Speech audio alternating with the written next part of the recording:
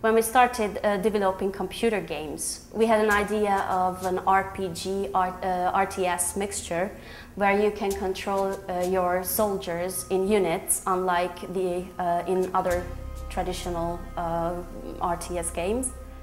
We know that many are comparing our games to the Creative Assembly titles, and I can say that we are very flattered by that comparison because uh, they are good and innovative strategy games and to have some things in common with such games can't be a disadvantage. But those games wanted to retell history and uh, our aim, quite on the contrary, is to create a memorable fantasy world uh, with legends and mythology and that is what, what we did with King Arthur 1.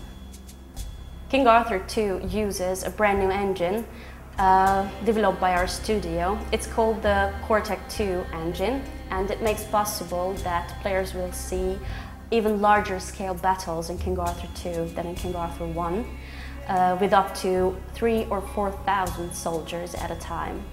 And uh, the animation system is hugely upgraded and there are great changes in the unit and army movement as well. In King Arthur 2 we have introduced a lot of new features and changed many many elements. For example, on the campaign map, we put more stress on the RPG management part and in the battles, players will uh, be able to apply a more tactical uh, gameplay due to the planned changes in the RPG strategy balance.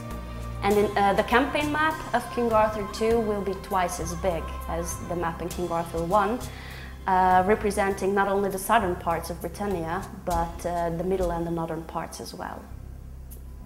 Moreover, we will introduce a brand new magic resistance and spellcasting system in King Arthur 2 that makes uh, possible for the players to take some precautions and defend themselves against powerful magic.